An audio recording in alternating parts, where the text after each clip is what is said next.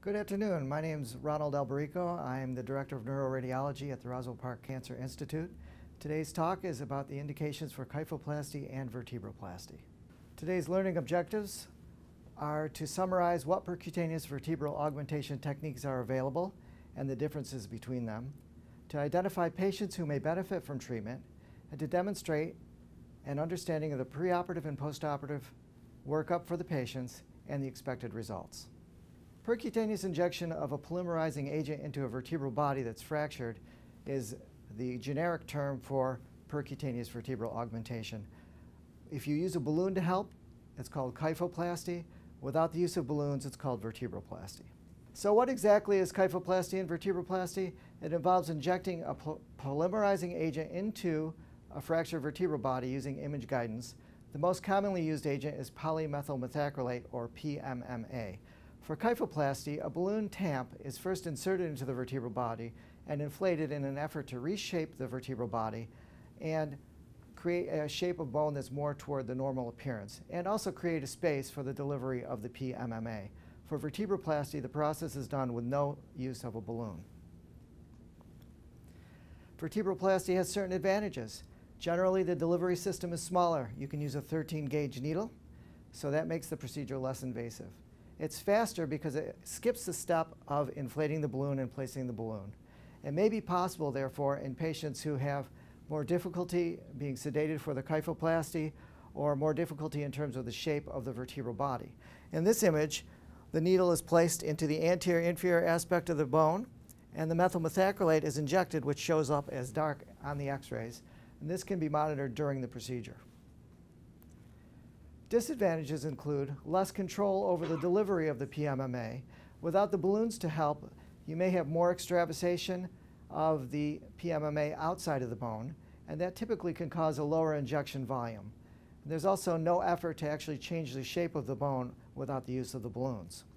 Advantages of kyphoplasty are you have better control over the PMMA delivery through cavity creation from the balloon, diversion of the cement path by use of the balloons, and other protection techniques.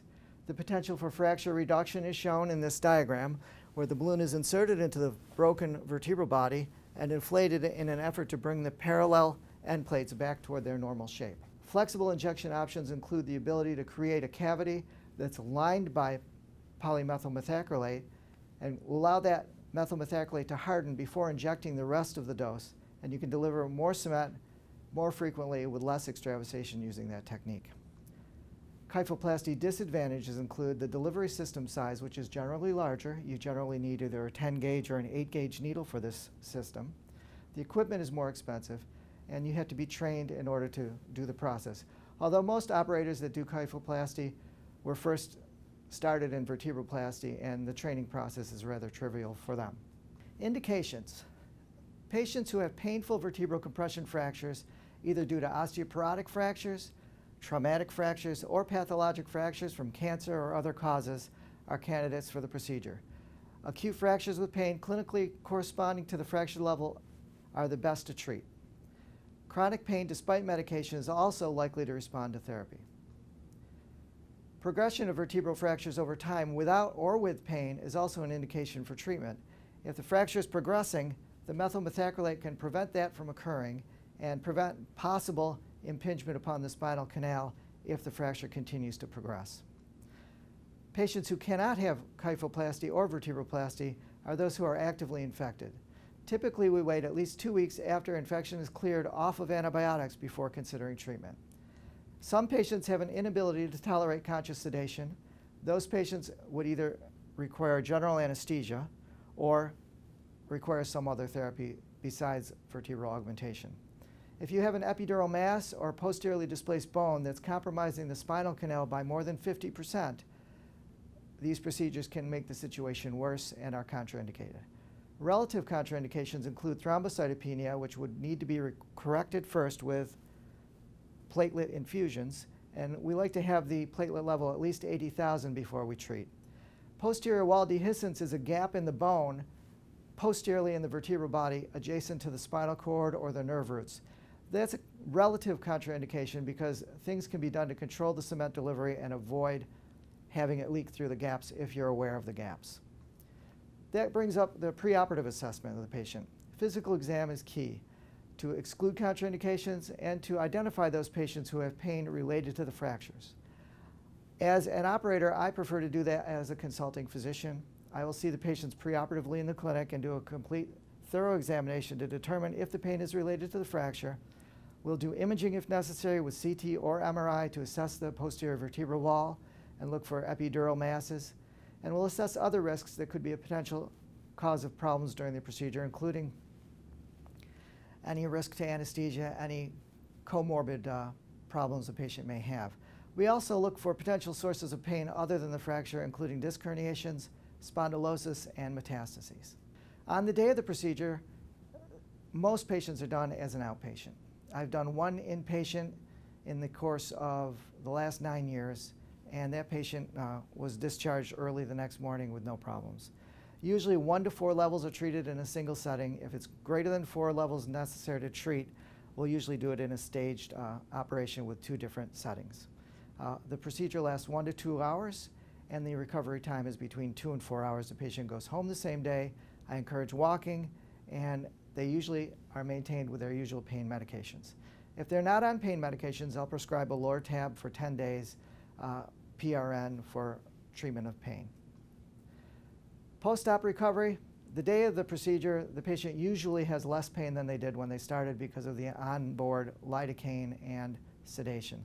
Pain will spike for the patient on day two, and they should expect relief of pain within three to four days after the procedure. I limit their activity to lifting no more than five pounds in the first two weeks after the procedure. After that, they can go down to their baseline activity level. It is important to stress to the patients that their fractures indicate a weakness of the vertebral bodies in general. And because their pain is gone, it does not make them less likely to fracture other levels because the pre-existing condition is still present. I encourage walking for postoperative recovery time and uh, as a form of physical therapy. They can shower the day of the procedure, but they're not to submerge the wounds for two weeks following the procedure. I follow up with them in clinic again two weeks after the procedure. At Roswell Park, we've done more than 1,200 levels in the last nine years.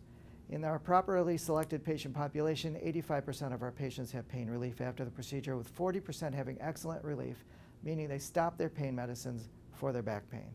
25% have decreased their pain medicine and have relief to some degree. 20% have an improvement in their ability to do daily activities and to sleep, but are still taking their level of pain medication from before. Of course, the top 40% and the 25% also have improved activity and sleep. Complication rate, symptomatic complications are less than 0.1%, and asymptomatic complications defined as leakage of the methyl methacrylate outside of the vertebral body are approximately uh, 4 to 5%. In conclusion, percutaneous vertebral augmentation can be done with or without balloon assistance. Balloon assistance provides better control of cement delivery, but has the disadvantage of having a requirement for more training, a more expensive system, and a larger diameter needle necessary for treatment. Patients who benefit from treatment have painful vertebral compression fractures or compression fractures that are progressive over time. Up to 85% of patients treated have pain relief within three to four days of the procedure. Thank you very much for your attention. My name is Dr. Ronald Alberico at Roswell Park Cancer Institute. If you have any further questions, feel free to call Roswell Park or visit roswellpark.org.